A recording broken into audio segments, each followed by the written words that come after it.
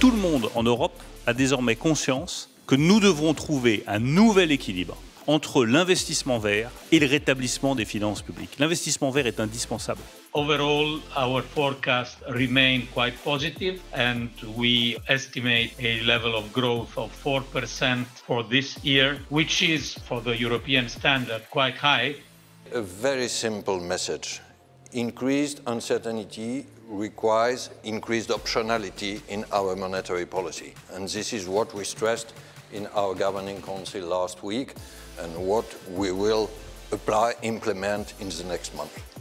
This is uh, the overview that we need to take, the European vision to make sure that these funds are gearing Europe uh, towards a stronger recovery and a more resilient uh, economy to protect the single market. What I'm happy to confirm is that I am looking at the concept of sequencing. I do want to look at how we can make progress on key modules within banking union uh, how we can make that progress move forward in a way that has equilibrium and that achieves consensus. In the past, the financial sector was in its own space. Now it's front and centre of everything.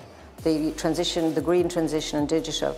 Uh, and therefore we want retail investors to be part of this story as well. But we also want to make sure they're protected. These days we talk about objectives uh, which are clear in terms of where Europe is to move, in terms of rebuilding a different environment with better infrastructure, more education, a lot of innovation, green uh, objectives.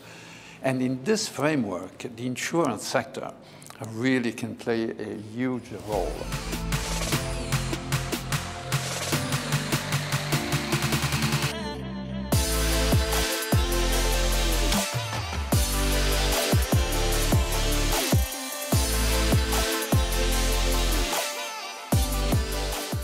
It is also a response by the private sector because they're recognizing that it is Europe's legitimate desire you know, to have payment sovereignty, right? And and payment sovereignty is is, is, is not necessarily a question for, for say, MasterCard or, or other players. It's an inalienable right of governments. To get that financing to the right sectors to achieve the objectives of the European Green Deal, we need a credible guidebook.